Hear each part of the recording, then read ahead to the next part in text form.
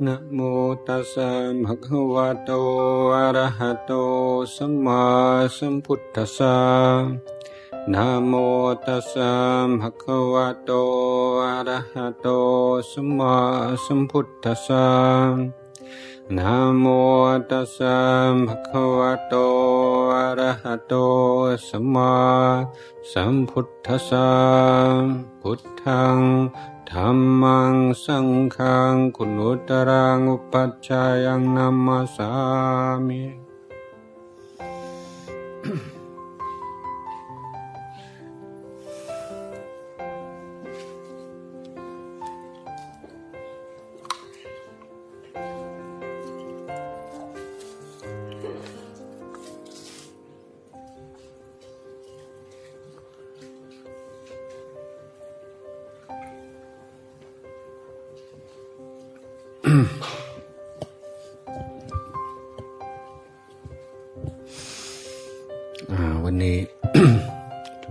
ษา แสดงธรรมในเรื่องหลักปฏิบัติทั่วไป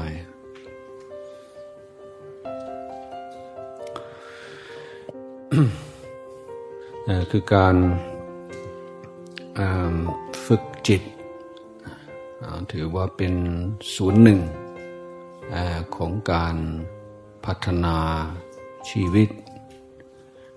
ตาม ความหมายหรืออุดมการของพระพุทธศาสนา การยืมเทคนิคของพระพุทธศาสนา ออกไปใช้ หรือว่าประยุกต์ใช้กับความเชื่ออย่างอื่น หรือว่าในกลุ่มผู้ไม่มีศาสนา ก็เป็นสิ่งที่เป็นไปได้ แล้วก็ไม่ทางพุทธเราก็ไม่ได้สงวนลิขสิทธิ์ในเทคนิคต่างๆ เพียงแต่ว่าไอการเจริญภาวนานอกเนื่อนอกจากบริบท ของอริยสัจสี่หรืออริยมรรคแปดคงไม่ถึงที่สุดของการภาวนา หมายถึงว่าไม่นำไปสู่มรรคผลนิพพาน เพราะคำสอนของพุทธศาสนาถือว่าเป็นระบบองค์รวมแต่ระบบองค์รวมเราแยกส่วนไปพัฒนาเฉพาะส่วนใดส่วนหนึ่ง อาจจะได้ประโยชน์บ้าง แต่อาจจะมีผลข้างเคียงในศูนย์อื่นก็ได้ หรือว่าอาจจะไม่ประสบความสำเร็จเท่าที่ควร ท่านก่อนจะกล่าวถึงการการฝึกจิตเราต้องดูบริบทซะก่อนไปดูภาพรวม ซึ่งในเรื่องนี้ต้องอพิจารณาอริยสัจสี่นั่นเองอริยสัจสี่นั้นสอนว่ามนุษย์ผู้มีกิเลสไม่สามารถเข้าถึงความสุขที่แท้จริงได้ แต่ความสุขที่แท้จริง เป็นสิ่งที่ มนุษย์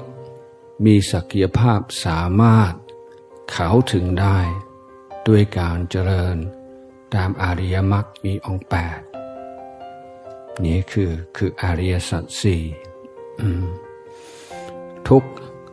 มีเพราะสมุทัยแต่นิโรธมีเพราะมรรคนี่ก็เป็นองค์รวมเหมือนกัน แต่มีแต่สองข้อแรก เราก็คงยอมต้องยอมรับว่าพุทธศาสนามอง ชีวิตมนุษย์ในแง่ร้ายแต่ข้อที่สามข้อที่สี่ยืนยันว่าทุกข์ก็ไม่จำเป็น สมุทัยก็ไม่จำเป็น ทุกข์และสมุทัยเกิดขึ้น เพราะไม่มีนิโรธ เพราะไม่มีมรรคมีมรรค เมื่อไหร่มรรคถึงพร้อมแล้วนิโรธเกิดขึ้น ทุกข์และสมุทัยยอมดับไปดังนั้นเมื่อเราพิจารณาชีวิตของเราชีวิตของมนุษย์ มีสุขกับทุกข์สลับกันใช่ไหมทุกบ้าง สุขบ้าง แต่โดยทั่วไปเราอาจจะสังเกตได้ว่าสำหรับคนส่วนมากส่วนใหญ่ ทุกจะมากกว่าสุข หรืออพูดอีกนายหนึ่งว่าสุขจะเบราะบางกว่าทุกข์หรือพูดง่ายๆก็คือคนเราสุขยากแต่ทุกข์จะง่าย ทุกข์ง่ายสุขยากเพราะอะไร เพราะเราไม่รู้จักชีวิตตัวเองตามความเป็นจริง ไม่รู้จักดูแลจิตใจ เพราะผู้ที่สุข ผู้ที่ทุกข์ก็คือจิตใจใช่ไหมนั้นถ้าเราต้องการจะป้องกันไม่ให้เป็นทุกข์ ถ้าต้องการให้มีความสุขมาก เราต้องรู้จักตัวจิตใจใช่ไหมว่าทำยังไง ทุกจึงจะไม่เกิดทำยังไง สุขจะเกิดขึ้นได้บ่อยแล้วก็เมื่อเกิดขึ้นแล้วจะอยู่นานๆเพราะโดยสัญชาตญาณของมนุษย์ มันจะไม่เป็นอย่างนั้น โดยสัญชาตญาณเมื่อได้ความสุขแล้วความสุขนั้นจะอยู่ได้ไม่นาน เพราะเราไม่มีวิชา ไม่มีปัญญาในการดูแลความสุขนั้นไม่ให้เสื่อม ความสุขที่เกิดขึ้นในชีวิตมีหลายระดับ และความสุขที่เกิดขึ้นโดยสัญชาตญาณนั่นเกิดจากการสัมผัสระหว่างตากับ รูป หูกับเสียง จมูกกับกลิ่นลิ้นกับรสกายกับการสัมผัส จิตกับอารมณ์ ความสุขที่เกิดขึ้นเองโดยไม่ต้องฝึกตัวเองเลย เป็นความสุขที่มีเสน่ห์มาก อืม มันจะดึงดูดเรามาก แต่ปัญหาก็คือ ถ้าจิตใจเรา ฝากความหวัง ในความสุขระดับนี้อย่างเดียว จะเจอปัญหาหลายหลายประกาศหลายข้อ ข้อแรกก็คือ ความสุขที่เกิดจากตาหูจมูกลิ้นกายใจนั้น ไม่ได้อยู่การใต้การใต้การบังคับบังคับบัญชาของเรา อย่างบางที่เรา เราเจ็บไข้ได้ป่วยเป็นต้นเอกความสุขที่เกิดตามเนื้อหนังก็จะน้อยลงทันทีหรือบางที่สิ่งที่เราชอบให้ความสุขกับเรามีจำกัดกลายเป็นคนอื่นเขาแย่งชิงไป และคนอื่นเขามีอำนาจมากกว่า เขามีสิทธิ์เขามีโอกาส เขาเอาก่อนเราเราก็ไม่เลย เราก็ไม่มีโอกาสได้เลยเพราะโลกนี้ไม่ยุติธรรมใช่ไหมแต่โลกนี้ผู้มีอำนาจมันจะใช้อำนาจ เพื่อผลประโยชน์ส่วนตัว ทีนี้เมื่อความจิตใจก็ติดอยู่กับความสุข ตามเนื้อหนังมันจะมีข้อเสียอีกข้อหนึ่งจะสังเกตว่าต้องเพิ่ม เอตัวกระตุ้นเรื่อยๆ เพื่อจะได้ความสุขเท่าเดิมพราะความสุขที่เกิดจากตาหูจมูกลิ้นกาย เจอครั้งแรกจะมีความสุขมาก แต่เจอครั้งที่สองครั้งที่สามครั้งที่สี่มันจะถึงจุดหนึ่งที่เราเริ่ม เริ่มจะชิน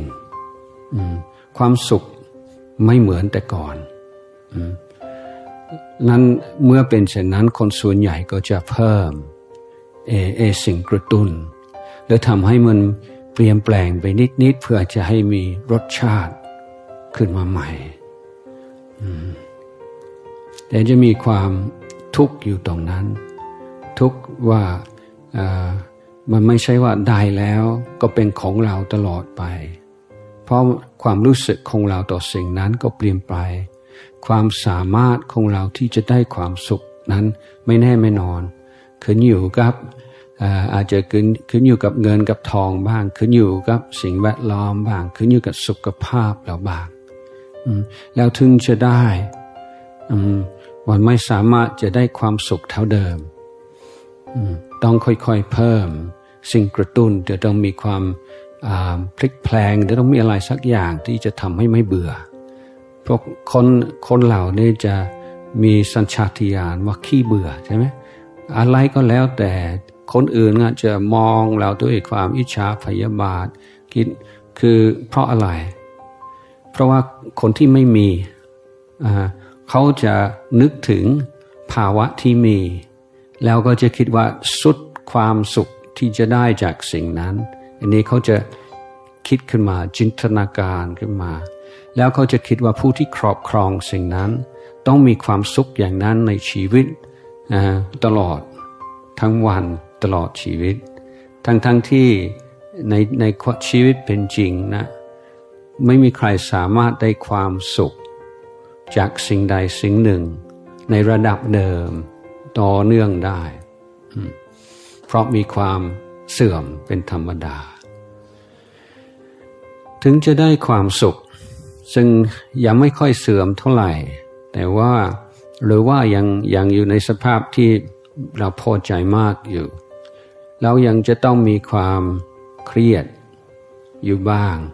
ว่าวันใดวันหนึ่งสิ่งนี้สิ่งนี้จะหายจากเราไป หรือว่ากลัวคนอื่นก็จะขโมยไป จะแย่งชิงไป เพราะนั้นภายในความสุขนั้นจะมีความไม่สงบ ไม่สงบกว่าลึกๆเรารู้เรารู้อยู่ว่า วันใดวันหนึ่ง เราต้องพลัดพรากจากความสุขนี้ แต่เราไม่ค่อยอยากจะยอมรับก็เก็บกด แต่ลึกๆนี้ก็รู้อยู่นี่ก็เป็นตัวอย่างของข้อเสีย ข้อบกพร่องจุดอ่อน ของความสุขที่จะเกิดขึ้นโดยสัญชาตญาณสำหรับคนทุกคน แต่มีความสุข ประเภทอื่นที่สูงกว่า ซึ่งไม่เกิดขึ้นเอง จะเกิดขึ้นโดยการฝึกโดยการปฏิบัติ ที่ว่าสูงกว่า เพราะอะไรเอาอะไรเป็นเครื่องชี้วัด และเครื่องตัดสินว่า สุขอย่างนี้สูงสุขอย่างนี้ต่ำก็ ถ้าเงินไขมากเราว่าต่ำแต่เมื่อกี้นี้เรียกว่า สุขที่เรียกว่ากามาสุข เงื่อนไขมาก แล้วก็ไม่ใช่เพียงแค่นั้นฮะความตรงการในกามสุขนำไปสู่ทุจริตบ่อยๆนำไปสุดนำไปสู่การเอารัดเอาเปรียบกันกัน รบราคาฟันกัน สารพัด เรียกว่านำไปสู่บาปกรรม ทั้งกายทั้งวาจา ซึ่งเป็นเหตุให้ผู้กระทำต้องรับผลในอนาคต และผู้รอบข้างผู้ที่โดน ก็จะเดือดร้อนในปัจจุบัน ที่ว่าสุขสูงกว่าก็หนึ่ง ในขณะที่เสวยความสุขนั้น ในความประมาท ก็น้อยลง สุขนั้นมีโทษ มีข้อเสียน้อย หรือแทบไม่มี และเป็นสิ่งที่ไม่นำไปสู่การผิดศีลและการทำบาปกรรม เช่นการความสุขที่เกิดจากการให้ ความสุข ที่เกิดจากการบริหารกายวาจาภายในกรอบของศีลธรรมโดยความสมัครใจ คือเราจะได้ความสุขจากศีลมาก ถ้าเรารักษาศีลที่ปัญญาและเพราะเราต้องการรักษา เพราะเราสมัครใจรักษา และเมื่อเราสมัครใจรักษาต้องการจะรักษาเพราะเห็นคุณค่าของการรักษาศีล แต่เมื่อเรา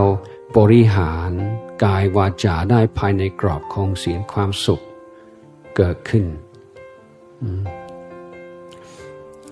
ดังนั้นในความสุขที่เกิดโดยสัญชาตญาณอยู่เฉยๆ ไม่ต้องปฏิบัติไม่ต้องอะไรทั้งสิ้นก็มีสิทธิ์ได้ก็อย่างหนึ่ง แต่ความสิทธิ์จากการให้จากการเสียสละกับการช่วยเหลือคนอื่น อันนี้ก็จะต้องมีความตั้งใจหน่อยนะต้องฝืน ความเคยชินฝืนความเห็นแก่ตัวอยู่บ้าง รักษาศีล ต้องฝืนสัญชาตญาณหลายอย่าง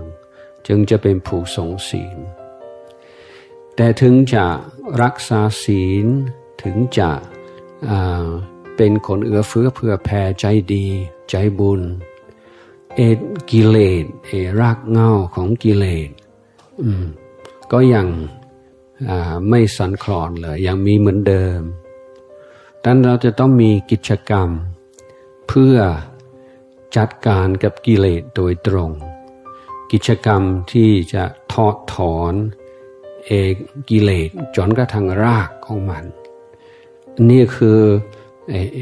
การภาวนาจิตภาวนาการการนั่งสมาธิเดินจงกรมอะไรเป็นต้นในแง่นี้ว่าว่าถ้าเราไม่ต้องการเป็นทุกข์ เราต้องถอดถอนกิเลส ถ้าเราต้องการเขาถึงความสุข ที่สูงขึ้นไป ความสุขของการไม่มีกิเลสบีบคั้น กดดัน นั่นคือความสุขสูงสุด ทั้งหมดนี้ต้องฝึก ไม่ฝึกไม่ได้ ดังถ้าเราพิจารณาในอริยสัจสี่จนเราเห็นได้ชัดเลยว่าทุกขะหรือภาวะที่ขาดความสุขที่แท้จริง ต้องมีแน่นอน ถ้าเราไม่จัดการกับกิเลส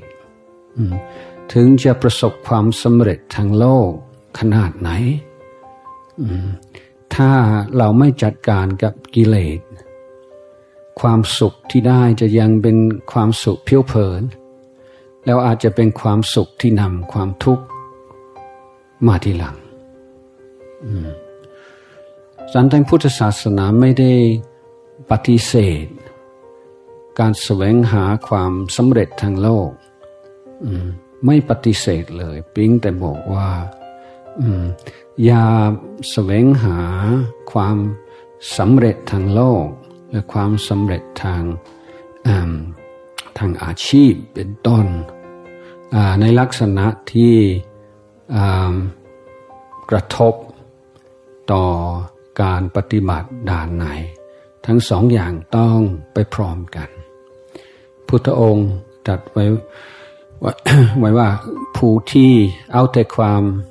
สำเร็จทางโลก ความสุขทางโลกเป็นใหญ่ แต่มองข้ามและเลยการปฏิบัติด้านไหน เหมือนคนพิการ มีตาข้างเดียว พอเห็นได้พอไปได้ แต่ก็พิการอยู่ แต่ในนั้นเดียวกันถ้าผู้ที่ยังคล่องเรื่องอยู่ ยังทำหน้าที่ต่อครอบครัวต่ออต่อสังคมอยู่ เอาแต่นั่งสมาธิเดินยงคมอย่างเดียวก็ไม่ไม่เหมาะเหมือนกันพิการเหมือนกันเพราะว่าละเลยหน้าที่ต่อสังคมแล้วพุทธองค์ยังจัดไว้ว่าต้องผู้ที่อยู่ในโลก ต้องเอาทั้งสองอย่าง ให้มันสอดคล้องกันคือหาความสุขทางโลก หาลาภพายศหาอะไรไม่ไม่เป็นไร แต่อย่าไปฝากความหวังกับมันมาก มันไม่ได้ให้ความสุขที่เราต้องการหรอก นอกเหนือจากว่ามีการปฏิบัติทางจิตพร้อม ๆกัน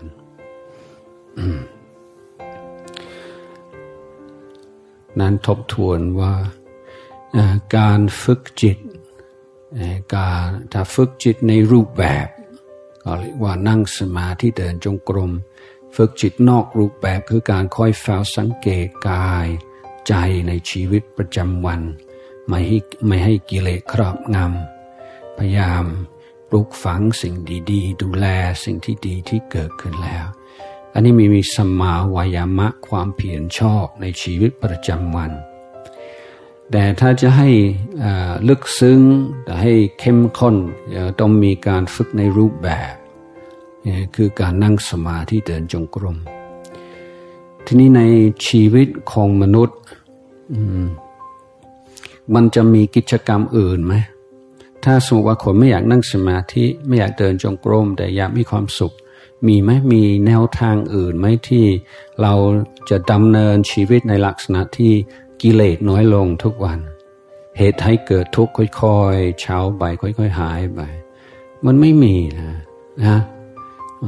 มันจริงอยู่บางคนนี่ถ้าเคย ขี่โมโหมากๆ พออายุมากขึ้นแล้วก็อาจจะอ่อนลง คนที่เคยเจ้าชู้อะไรตอนหนุ่มพออายุมากแล้วอาจจะอ่อนลงก็คือไม่ค่อยมีแรง แต่นั้นไม่ได้หมายถึงว่ากิเลสหายไป แล้วเอตัวที่จะเกิดทุกข์ก็ยังเต็มหัวใจ แล้วลองสังเกตดูให้คนอายุผู้สูงอายุ ตอนที่ ตอนที่เขาเจริญรุ่งเรืองนี่มีการงานดี เจริญก้าวหน้ามีเงินมีทองเนะี่ยบางที่ดูคนเขาวัดคนไม่เข้าวัดมันคนเขาวัดเสียเปรียบบางคนก็มองอย่างนั้น แต่ดูสิตอนอายุมากขึ้นนะเอดูดูคนอายุเจ็ดสิบแปดสิบขึ้นไป มันต่างกันมากนะ ดูที่คุณภาพคนคุณภาพจิต คุณงามความดี สิ่งที่น่าเคารพนับถือในตัวในตัวเขาเราจึงเห็นชัดเลยว่าผู้ที่มีความเพียรพยายาม จะค่อยๆลดค่อยๆ ปล่อยวางกิเลสตลอดมา เพราะอายุเจ็ดสิบขึ้นไปเนี่ยเห็นผลชัดเลยนะความสงบ ความสงาความพงใส ความน่าเคารพนับถือเนี่ย ผู้เขาวัดเนี่ยเหมือนคนละคนละพันกับคนไม่เข้าวัดนะบางทีคล้ายๆอย่างนั้นฮะอ้าวคนไม่เข้าวัดพันเป็นพันอะไร พันแบบงุดหงิดลำคาญอะไร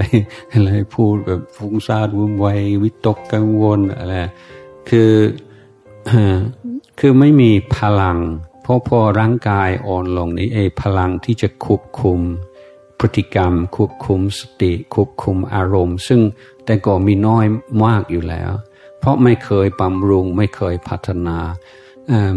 อายุมากแล้วยิ่งยิ่งไม่มีเสลยมีอะไรก็พูดออกไปอะไรนิดอะไรน้อยก็โกรธ โมโห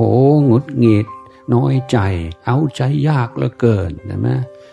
เนี่ยญาติโยมอาจจะรู้จักผู้ใหญ่ที่เป็นลักษณะอย่างนี้บ้างใช่ไหมทีนี้เราภาวนา คือเราเป็นการรับผิดชอบอชีวิตของเราแล้วถือว่าไม่ใช่ว่าพอเอาตัวรอดได้ อืม คือบาง ก็ต้องมีอุดมการไม่ใช่แค่ แค่มีชีวิตอยู่เป็นวันๆเลยว่าเออ เราก็มีลูกมีล้านดูแลชีวิตครอบครัวอบอุ่นก็ มีเงินมีทองแค่นี้พอถ้ามาว่าอันนี้เราควรจะถือว่านั้นดีมากแล้ว อนุโมทนา แต่นั่นเป็นแค่พื้นฐานเฉยมันไม่ใช่สิ่งสูงสุดของชีวิตมนุษย์ เพราะพุทธศาสนาสอนว่าเกิดเป็นมนุษย์มันยากมากนะโอกาสที่จะที่จะเกิดในประเทศอันสมควรที่จะมีโอกาสมาศึกษาแล้วปฏิบัติตามหลักคำสอนพุทธศาสนา โอ้ก่อนจะได้เกิด อย่างนี้ของจะมีโอกาสอย่างนี้สร้างบุญบารมีไม่รู้กี่พบกี่ชาติแล้ว เราจะเอาแค่นี้เหรอแหมมันเสียดายนะอืมแล้วพุทธองค์ก็บอกว่าเเราก็ต้องมีอุดมการในการทำอะไรให้มันดีขึ้น ให้มันสูงขึ้นนะแล้วโดยเฉพาะในการที่จะลดเหตุให้เกิดทุกข์ในอนาคต เพราะชาตินี้ใช่ เราเกิดเป็นมนุษย์ แต่เรารับรองได้ไหมว่าชาติหน้าเราจะไปเกิดที่ไหน อืมก็รับรองตัวเองไม่ได้มีแต่พระโซดาบันเท่านั้น ที่ว่าผลเขตอันตราย เพราะงั้นเนี่ยก็อยู่ในอยู่ในสังสารวัฏคนเรานี่ถึงทุกวันนี้ทำคุณงามความดีได้บ้างอะไรบ้าง แต่ว่ายังอยู่ในเขตอันตรายนะ ไม่มีอะไรที่เป็นเครื่องห้ามที่จะบอกเด็ดขาดว่าไม่มีทางที่ในอนาคตวันใดวันหนึ่ง เราจะเกิดเป็นสติรชานเราจะตกนรก เราก็จะประเมินหรือว่าจะอนุมานจากภาวะปัจจุบันไม่ได้ เพราะเรายังอยู่ในเขตอันตราย เหมือนอยู่ในประเทศที่มีสงคราม เนี่ยอ๋อเนี่ยเมืองของเรายังไม่เคยมีทางฝ่ายศัตรูมาถึงระเบิด ยังไม่มีทหารฝ่ายโน้นเข้ามาปุกเบิกในอำเภอของเรา เออดีเหมือนกัน แต่ก็นั่นไม่ได้หมายความว่าในอนาคตจะไม่มีใช่ไหมนั้นเราก็ถือว่าเราเราอยู่ในยังอยู่ในเขตอันตรายอยู่ นั้นงานที่เราต้องรับผิดชอบคืองานจัดการกับกิเลสพุทธองค์ในภาษาบาลีเรียกว่ามีสำนวนหนึ่งที่ปรากฏบ่อย ซึ่งถ้ามักจะแปล แปลเป็นภาษาไทยว่าอย่าพึ่งโทษทอดทุระ อย่าพึ่งทอดทุระในกุศลธรรมทั้งหลาย คือหมายถึงว่ากุศลธรรม คุณงามความดีเป็นธุรกิจ เป็นธุระที่เราควรจะเอาใจใส่ทุกคนท่านอยากจะเข้าใจว่าในการนั่งสมาธิเดินจงกรมเรากำลังปฏิบัติเพื่อถอดถอนกิเลสเพราะตราบใดที่ยังมีกิเลสอยู่ในใจเชื่อของความทุกข์ยังมีอยู่ นั้นในการที่เราจะถอนกิเลส เราต้องเห็นกิเลสซะก่อนนะเอ๊ะทำไมคนทั่วไปเขาเขาไม่ค่อยจะสนใจเรื่องการปฏิบัติ เพราะเขาไม่เข้าใจคำว่าความหมายของคำว่ากิเลส ก็เคยฟังมาใช่ไหมอาจจะใช้อู้เนี่ยกิเลสมากแล้วคือเอการใช้ศัพท์ไม่ได้หมายความว่าเราต้องรู้จักความหมายของศัพท์นะ นี่เอการที่กิเลสคือสิ่งที่ทำให้จิตใจเราเศร้าหมอง หมายถึงว่าเพี้ยนไปหรือเสียจากความผ่องใสเบิกบานภายในทำให้คุณภาพจิตใจต่ำลงอันนี้เราเราอาจจะเข้าใจคอนเซปต์แต่จะรู้สึกมันจะเข้าใจโดยความรู้สึกในเมื่อภาวนา ทีนี้เราเราจะเห็นว่าสมุทัยคือกิเลสเป็นเหตุให้เกิดทุกข์อย่างไรเราต้องฝืนกิเลสใช่ไหมเหมือนเราลอยตามกระแส เราเราจะรู้ได้ไหมว่าเอกระแสนี้มันแรงเท่าไหร่แล้วก็จะพิจารณาธรรมชาติของกระแสได้ไหม ถ้าลอยตามกระแสนี่มันยาก แต่เราจะได้ข้อมูลจะเริ่มเข้าใจเมื่อเราพยายามทวนกระแสดังการนั่งนิ่ง นั่งหลับตาอยู่กับลมหายใจ อู้มันทวนกระแสเหลือเกิน ทวนกระแสความคิด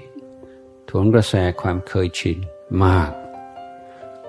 ตันจิตก็เกิดปฏิกิริยาต่าง ๆนานานั่นคือกิเลสใช่ไหมอืม เนี่ยก็เรียกว่าเราประสบความสำเร็จในการภาวนาในเบื้องต้น เมื่อเกิดมีกิเลสปรากฏให้เห็น แล้วกิเลสที่เกิดขึ้นมีหลายอย่างแล้วการภาวนาก็เพื่อ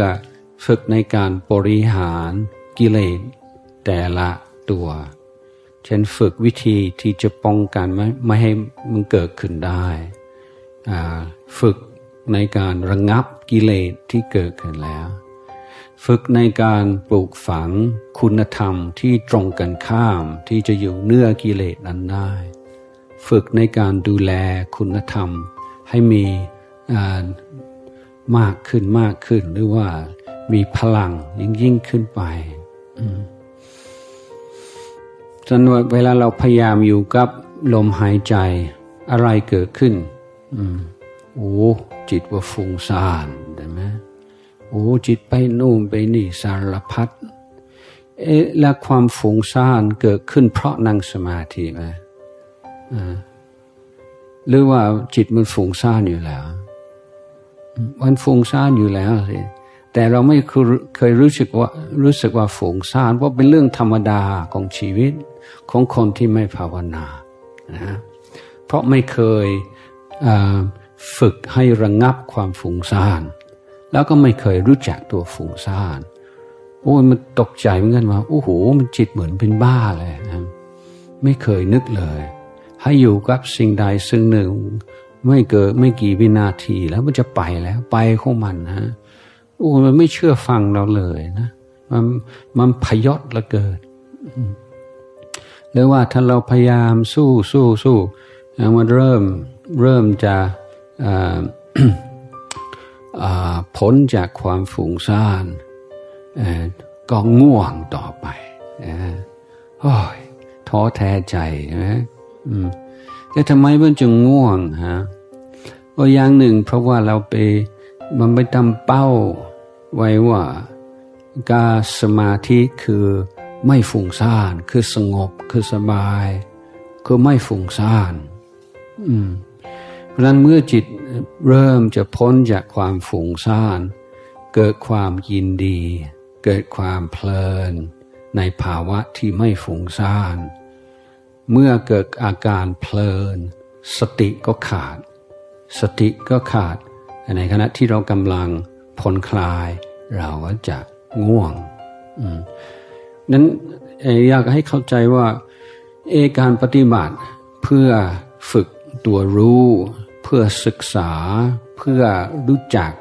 จิตใจ เพื่อเข้าใจว่ากิเลสเข้ามาครอบงำอยังไงจะปล่อยวางยังไง ต้องวางใจอย่างไรหลวงพ่อชาท่านจึงสอนเอพวกเราที่ไปปนกับท่านว่าโอ้จิตไม่สงบเลยฟุ้งซ่านท่านก็เอ๊ะฟุ้งซ่านเป็นเรื่องธรรมดาของจิต เหมือนธรรมดาของลิงจะให้ลิงไม่ใช่ลิงมันก็ไม่ได้ ลิงคือลิงนั่นแหละแต่เราฝึกตัวรู้ฟุ้งซ่านก็รู้ไม่ฟุ้งซ่านก็รู้อันนี้ที่พึ่งของเราคือคือตัวรู้ ไม่ใช่ว่าอยากจะให้จิตใจสบาย ไม่คิดอะไรมากแบบ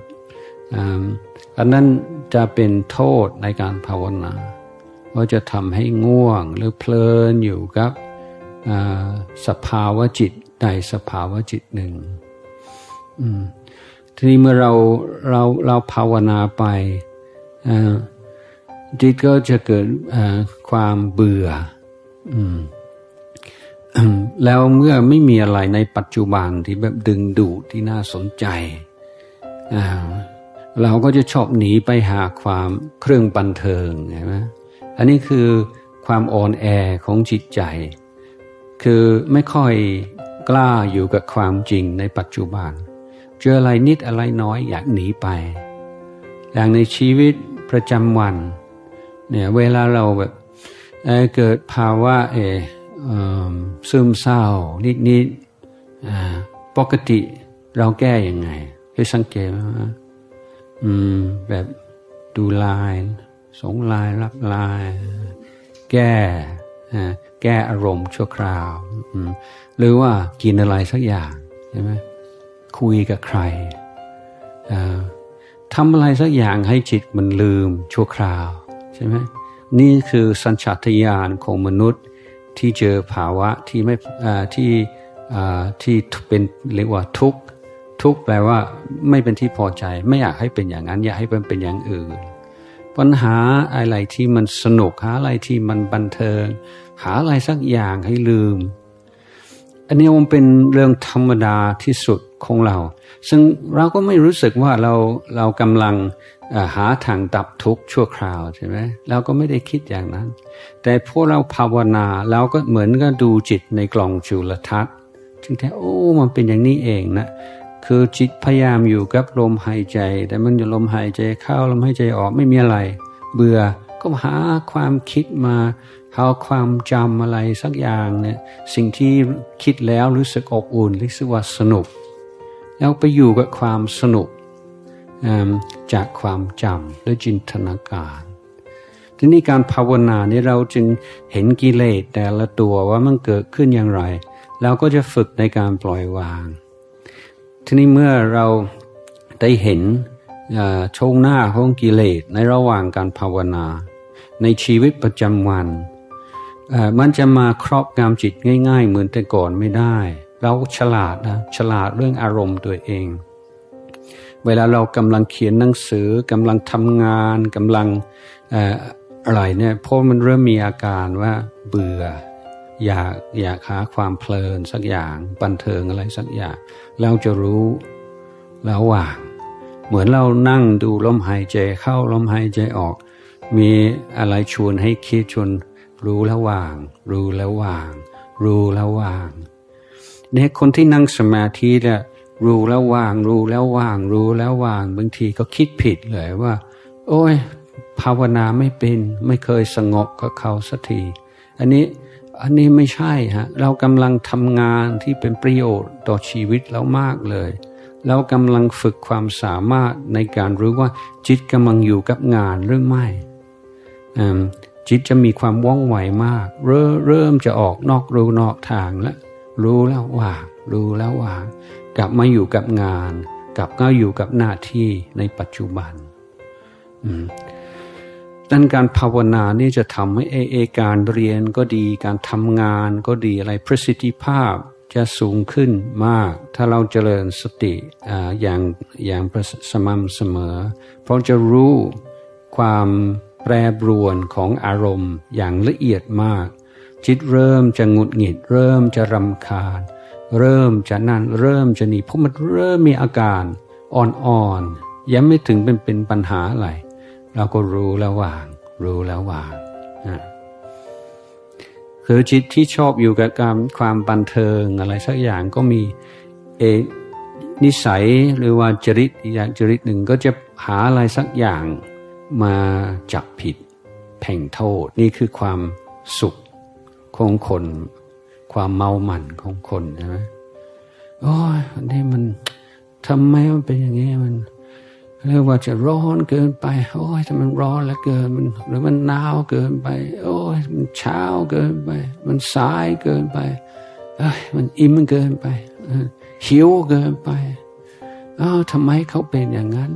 เอาเรื่องที่คนนั้นพูด คนนี้มาทำมาคิดปรุงแต่งปรุงแต่งด้วยความไม่พอใจ อันนี้มันเป็นของเสพติดเหมือนกันนะ ความคิดในในในทางทางลบ คิดปรุงแต่งในสิ่งที่เราไม่ชอบ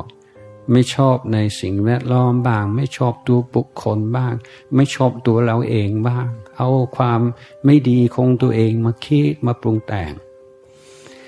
นี่เอาเรื่องเล็กน้อยมาปันมาคิดมาปรุงแต่งเนี่ยเนี่ยก็เป็นของเสพติด ที่จะทำให้อารมณ์เรากลาดกลุ่มซึมเศร้าได้ง่ายมาก แต่แค่เราจับตรงมันเริ่มเริ่มจะคิดนาดออกตรงที่มันยังอ่อนๆโอ้นี่จิตใจของเราจะจะพองใสขึ้นมาทันทีนะคือเราต้องฉลาดในวิธีจิต ในสิ่งที่กำลังเกิดขึ้นในจิตใจเรานี่ข้อหนึ่งที่เราจะได้จากการนั่งสมาธิคือ ความคิด ความคิดอะไรก็แล้วแต่นะ เรามักจะสนใจว่าคิดเรื่องอะไร เรียกว่าเนื้อหาของความคิด แต่แล้วมันจะมีสองในในความคิดมีสองอย่างมองได้สองอย่างหนึ่งก็คือเนื้อหาสองก็คือกระบวนการ กระบวนการก็คือความคิดทุกอย่าง มีเกิดมีดับใช่ไหมคือเมื่อกี้นี้ไม่คิดเลย ตอนนี้โอ้อ้าวกำลังคิดอยู่ คิดไปสักพักหนึ่งความคิดนั้นจะหายไปใช่ไหมนี่คือกระบวนการของความคิด สมมติมีความความคิดขึ้นมาเรื่องอิจฉาใครสักคนนะเมื่อกี้นี้ก็อยู่ดีๆ แล้วจิตหายใจเข้าจะก็เกิดความคิดอิจฉาใครไม่พอใจใคร ถ้าเราขาดสติ หนึ่งเราก็จะคิดต่อเอาเรื่องนั่นเรื่องนี้มาปั้นให้มันให้มันเป็นเรื่องเรื่องเล็กเล็กเป็นเรื่องใหญ่ ไม่งั้นอาจจะแบบเก็บกดแบบอุ้ยอย่าไปคิดอย่างนั้นเป็นบาปแต่ที่จริงเนี่ยเก็บกดก็ไม่ได้ทำให้มันหายไปนะแต่อย่างไรก็ตามคือความสนใจของเราก็จะโดยปกติจะอยู่ที่เนื้อหาความคิด บางทีโอ้ยทำไมเราคิดอย่างนี้ทำไมมันมันแย่มันเลย แต่นี้ถ้าเราเปลี่ยนคือไม่ห้าม คือไม่ไม่ปล่อยให้จิตคิดตาม แต่ไม่ไล่ออกจาก